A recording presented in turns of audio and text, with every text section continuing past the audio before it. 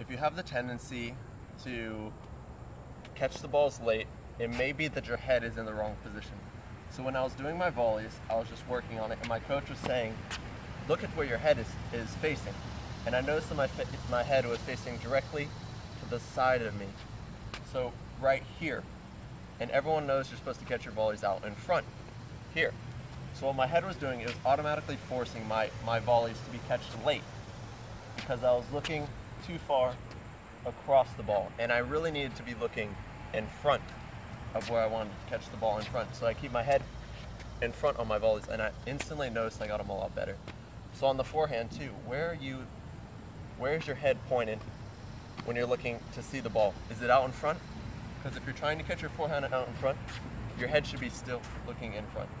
And you know, if you have your head to the side, directly to the side, you're going to be catching everything late because your head is going to be still, but it's going to be behind you.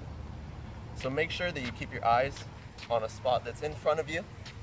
You know, same with the backhand too, a spot that's in front of you. And with your volleys, have your face going forward. Don't don't twist your neck backwards. So don't keep your head still unless you're looking in the right area. If you have it right in front of you, you're gonna catch those volleys clean every single time. Try this tip out.